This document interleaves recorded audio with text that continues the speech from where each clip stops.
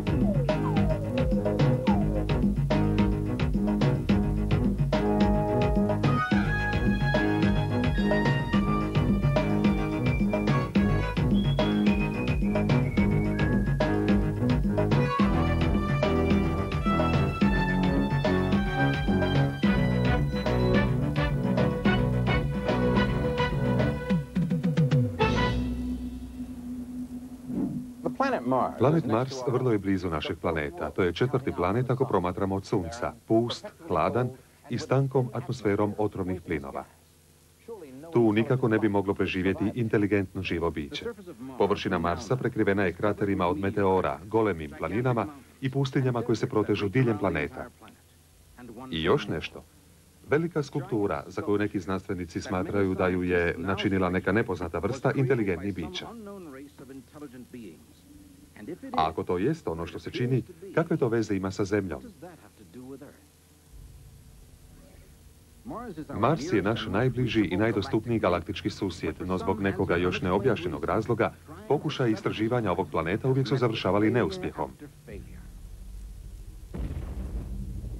Počelo je s dvije sovjetske misije 1960. no obje su propale. Nakon mnogih problema koje su Rusi imali pokušavajući spustiti svoje sonde na Mars, američki su se znanstvenici počeli među sobom šaliti o nekome velikome galaktičkom duhu koji našim misijama onemogućuje spuštanje na Mars. U studenome 1964. Amerikanci su pokrenuli misije u kojima su sonde tipa Mariner upućivane prema Marsu, no kad se približio Marsu, poklopac kamere na Marineru 3 nije se otvorio i tako kamera ništa nije snimila. Čini se kako misije čiji je cilj ispitivanje Marsa doista često završavaju neuspješno. No u srpnju 1965. godine američka sonda Mariner 4 napokon je uspješno prišla Marsu prvi put obletjevši. Dakle, jesu li zemaljski znanstvenici na posljedku ipak nadmudrili galaktičkoga duha? Čini se da nisu. Kad su nakon toga Sovjeti pokušali spustiti svoju sondu na Mars, dogodilo se nešto doista nevjerojatno. Činilo se kako na sondi sve savršeno funkcionira, a zatim je zakazala. Je li moguće da se ondje nalazi nešto što obstruira naše napore da osvojimo svemir? Ili je riječ samo o nevjerojatnom slijedu slučajnosti? Bez obzira na pravi razlog, prošlo je punih pet godina prije nego što je SAD ponovno pokušao doprijeti do Marsa. No 1967. sonda Viking počela je slati snimke i svoje orbite oko Marsa, uključujući i ove. Ohrabren uspjehom sonde Viking, Sovjetski savez 88. godine uz međunarodnu pomoć lansirao niz satelita.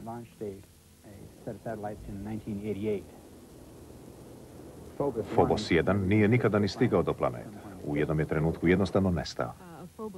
Phobos 2, sonda koja je poslana kako bi ispitivala jedan od Marsovih prirodnih satelita, naišla je na nešto vrlo neobično, što su Sovjeti snimili. Ta se snimka pojavila i u SAD-u. Pokazivala je masivan objekt eliptična oblika.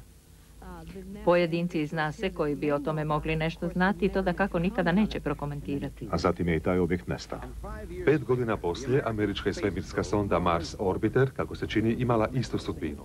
No, što im se zapravo dogodilo?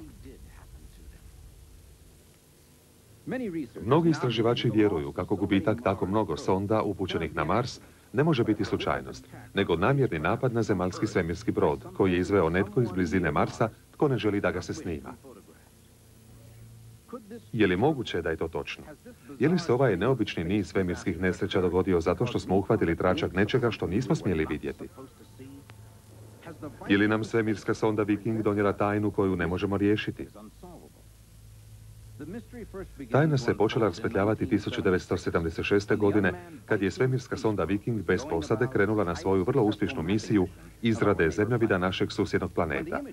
Kad su počele analize snimaka poslanih na zemlju, u području nazvanom Sidonija, na površini se pojavio ovaj lik koji je zainteresirao sve ljude na zemlji. Prva je službena reakcija iz NASA na tu fotografiju bila da je riječ o varci sunčeve svjetlosti. Nitko nije vjerovao da je to golemo lice uklesano u površinu Marsa. Osim toga, tko je to mogao napraviti? Nitko ne vjeruje u znanstveno-fantastičnu verziju ljudi s Marsa. Znamo da na Marsu ne mogu opstati inteligentna živa bića. Stoga NASA i nije uzela u obzir objašnjenje da je to dijelo inteligentnih bića. Unato svemu tome, taj je lik nazvan glavom kad je snimljen prvi put. No, na sreću, priča tu ne završava. Snimka je privukla pažnju stručnjaka za analizu fotografija Vinsa Di Pietra i Grega Molenara. Di Pietro i Molenar preuzeli su na sebe kolosalni zadatak otkrivanja, što doista prikazuje ta neobična snimka. U početku samo su povećavali fotografiju i zaključili kako ondje nema ničega. Tako smo Vincent Di Pietro i ja napravili računalni program kako bismo povećali fotografiju i dobili mnogo više detalja nego što ih je dobila NASA. Iako je proces što su ga pokrenuli rezultirao likovima koji su uvjerljivi poput ovih, NASA i dalje tvrdila kako je riječ samo o igri svjetla i sjene. A kako bi to i dokazali, rekli su da je Viking fotografirao isto područje iz drugoga kuta i kako se na drugoj fotografiji ne vidi lice. Zatim smo prekopavali po arhivima kako bismo provjerili prolazili neki satelit iznad tog područja. NASA je u početku tvrdila da ne prolazi, no mi smo pregledali njihove arhive i otkrili jednu fotografiju. I na njoj, kao i na onoj drugoj, bilo prikazano lice, dok je sunčeva svjetlost spadala pod drugim kutom, s još više pojedinosti nego prije. Na očima su se jasno vidjele zjenica, na ustima zubi. Bili smo doista zadivljeni. Postojale su dakle dvije fotografije glave. Je li to bio dokaz da su lik izradila inteligentna bića? Je li ta druga fotografija riješila tajnu ili je to bio tek početak još veće zagonetke? Slagalice, čiji je jedan od najvažnijih dijelova pronađen na zemlji.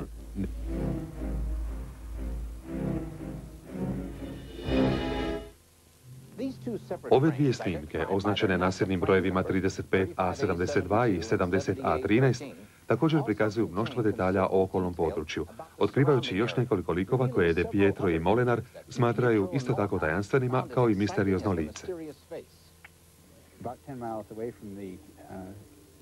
Oko 15 km od lica nalazi se nekoliko piramida, a čudno je što su veoma pravilnog trokutastog oblika. Na svakom uglu nalazi se potporanj, a pomnije ispitivanje pokazuje da su i oni izrađeni u obliku piramida. Je li to nepobitni dokaz da je neka inteligentna vrsta nekog živjela na Marsu? Zaista je teško povjerovati da je ovo prirodna tvorba. Od vremena tog otkrića znanstveni pisac i savjetnik Richard Hoagland neumorno je radio kako bi otkrio potpunu istinu o tajanstvenom području Sidonija na Marsu. Član našeg tima, dr. Mark Carlotto, odlučio je upotrijebiti vrhunsku računalnu 3D modelirajuću tehniku, s pomoću koje je otkriveno kako bi ovo lice doista mogla biti trodimenzionalna skulptura ljudskog lika. Skulptura visoka 450 metara i duga oko 2 kilometra. No, nije li još uvijek moguće da ovi zanimljivi oblici nisu ništa više od prirodnih slučajnosti? Te da istražitelji koji ih proučavaju puštaju svoje mašti na volju. Mnoga intrigantna pitanja iskrsavaju kad se spomene veza između ovog lika s Marsa i pradavnih struktura sa Zemlje. Vjerojatno je najintrigantnije pitanje upozorava li nas taj lik s površine drugog planeta na porijeklo pradavnih struktura našega svijeta. Istraživački tim Richarda Hoaglanda možda je otkrio dokaz kako jedan od naših najstarijih spomenika nisu izradile ljudske ruke.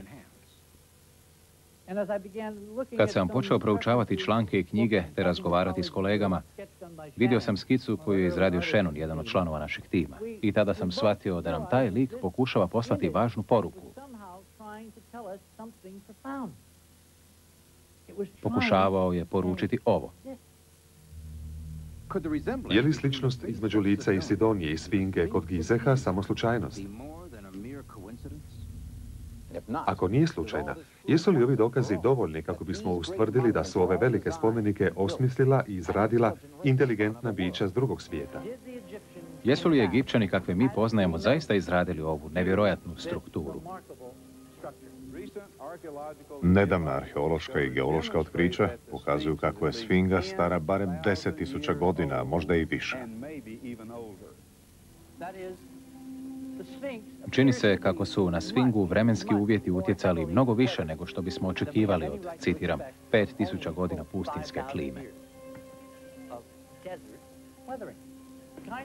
Vremenski uvjeti rezultirali su promjenama koje se najbolje mogu objasniti kao djelovanje tekuće vode.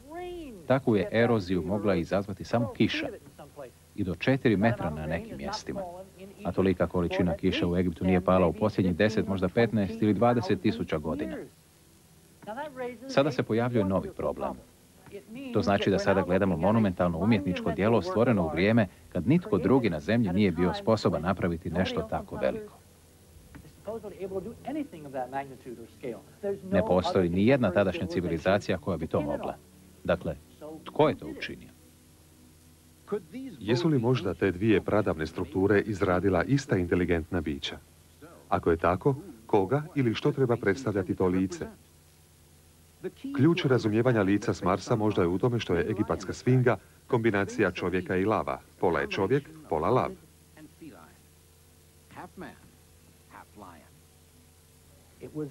U tom smo se trenutku počeli manje brinuti za takozvano lice s Marsa, a više za značenje poruke iz Sidonije.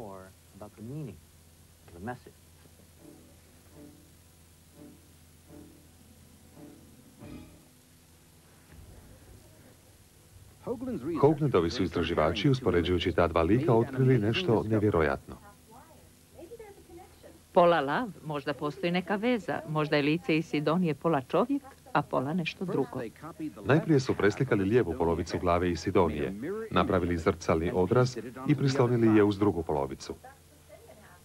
Rezultat je bio zanimljiv, no nije vodio ni do kakva zaključka. No kad su to isto pokušali učiniti s desnom polovicom, rezultat je bio jasan prikaz lavlje glave.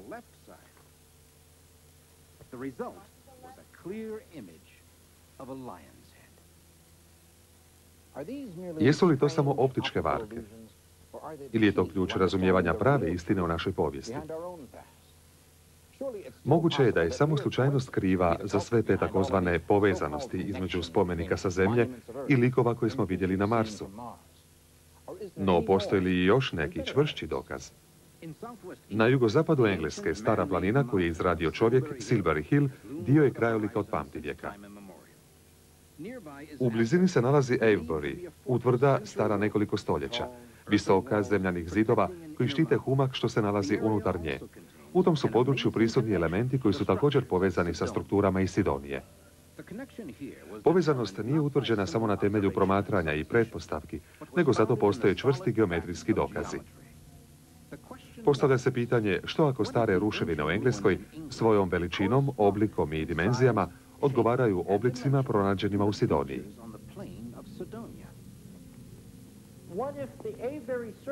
Što ako je Aveburyski krug krater, a Silbury potporan, a kutovi i položaj starih likova tetraedarska piramida?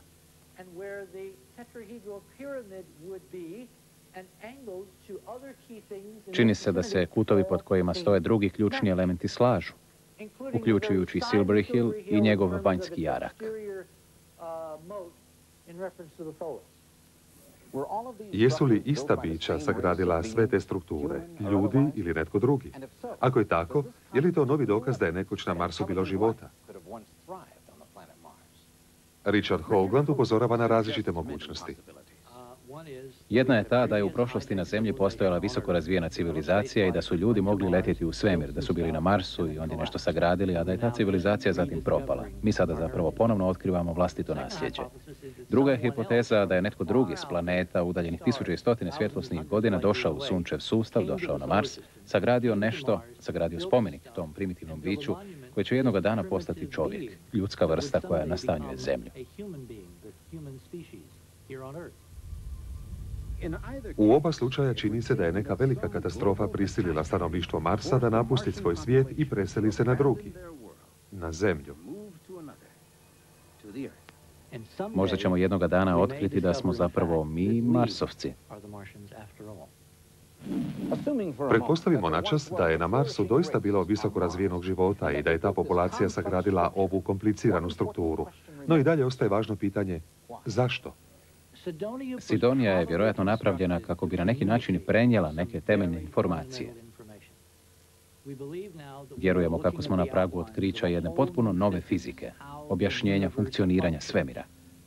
To je neka vrsta potpuno nove teorije. Omogućila ju nam je preko fotografija s vikinga geometrijska struktura likova.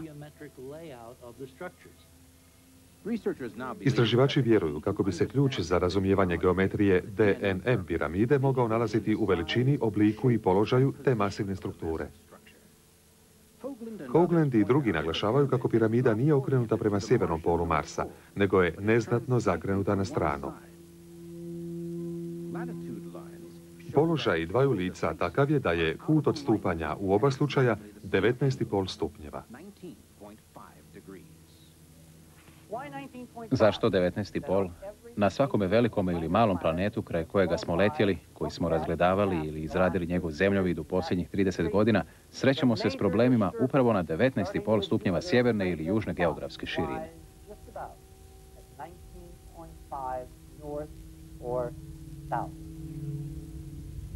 Velika crvena mrlja na Jupiteru zapravo je veliki ciklon, atmosferska oluja veća od čitavog planeta Zemlje.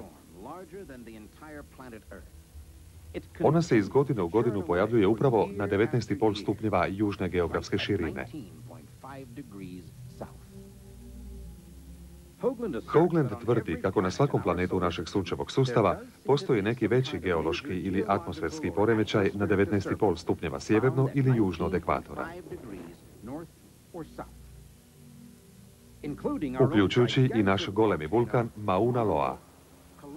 Kolosalna snaga uzdiže se iz središta zemlje i probija na Havajima na 19,5 stupnjeva sjeverne geografske širine.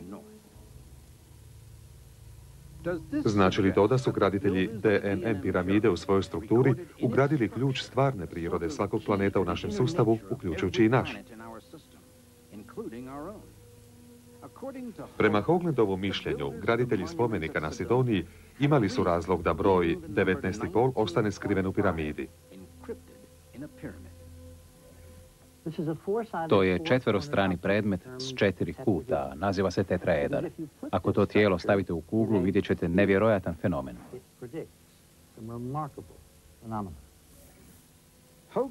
Hoagland tvrdi, ako savršeni tetraedar ili piramidu postavimo unutar kugle, kao što je planet, tako da jedan njezin vrh pokazuje prema sjevernom ili južnom polu, drugi će vrhovi biti postavljeni točno na 19,5 stupnjeva sjeverno ili južno. Isto kao i kutovi otkriveni na DNM piramidi.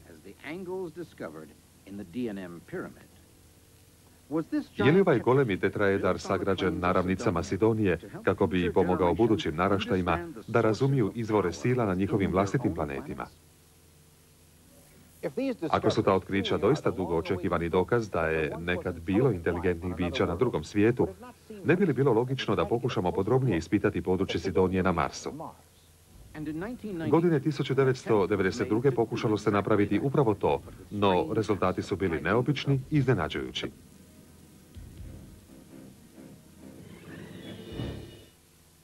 25. rujna 1992. godine jedna od tehnološki najsavršenijih svemirskih sonda lansirana je u svemir.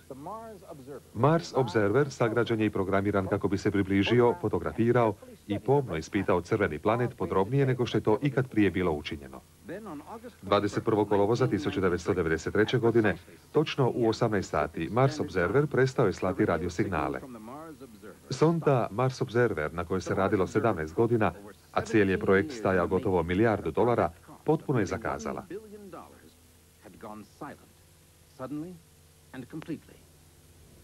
Ali zašto? Je li jednostavno nastao kvar? Ili je posrijedi dublja tajna?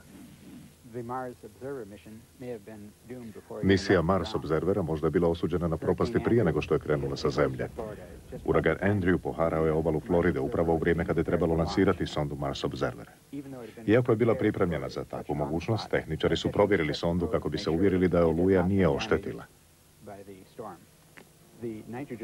Nitrogenski sustav bio je opremljen posebnim filtrima koji su trebali spriječiti ulazak prašine i krhotina u sustav, a kamere su bile u posebnom odjeljku. Unatoč tomu, komadići papira, prašina i krhotine pronađeni su u oba odjeljka. Čini se kao da je netko pomeo poda, zatim otpadke bacio u te odjeljke. Nevjerojatno je da je uragan Andrew mogao napraviti svu tu štetu. No, ako to nije mogao napraviti uragan, tko je mogao? Zbog čega bitko želio sabotirati ekspediciju koja bi omogućila snimanje Marsa? Ili to možda zato što netko ili nešto ne želi da pomnije ispitamo susjedni planet? Ako je to točno, kakvu to tajnu žele sačuvati? Mnogi stručnjaci vjeruju kako se sile koje čuvaju tajnu Marsa možda ne nalaze na crvenom planetu, nego ovdje, na Zemlji. Otkad su prve televizijske kamere postale dijelom svemirskih misija sredinom 60. godina, NASA je svoje video snimke uvijek prikazivala svijetu. No, mnogi izvori tvrde kako je upravo prije lansiranja Mars Observera NASA objavila kako prvi put u povijesti neće dopustiti javno emitiranje snimaka na televiziji. Zašto? Zašto bi NASA odjednom nakon 40 godina promijenila politiku? Jesu li o Marsu saznali nešto što nisu željeli priznati? NASA je dugo čvrsto surađivala s Ministarstvom obrane, tako da su je, vjerujem, bila nametnuta mnoga ograničenja zbog nacionalne sigurnosti. Mislim da postoji mnogo dokaza koji nas upovezuju s NLO-ima. Pristup je sličan onomu kod drugih vladinih projekata. Ne žele se osramotiti, tako da će ako nemaju pravi odgovor, sve tretirati kao tajnu dok ne saznaju nešto više. Mars Observer možda nam je pružio definitivan odgovor na pitanje o životu na Marsu, a možda i nije. No Mars Observer sada je izgubljen negdje u golemim prostranstvima svemira. Je li to možda najnovija žrtva galaktičkog duha? Ili postoji drugo objašnjenje? Stanley McDaniel, autor knjige Izvještaj McDaniela, tvrdi kako postoji vrlo praktično objašnjenje. Neki su nagađali kako se NASA boji da će izgubiti svoja sredstva ako se otkriju samo naznake postojanja izvansemaljskog života na Marsu ili drugdje u sunčevu sustavu.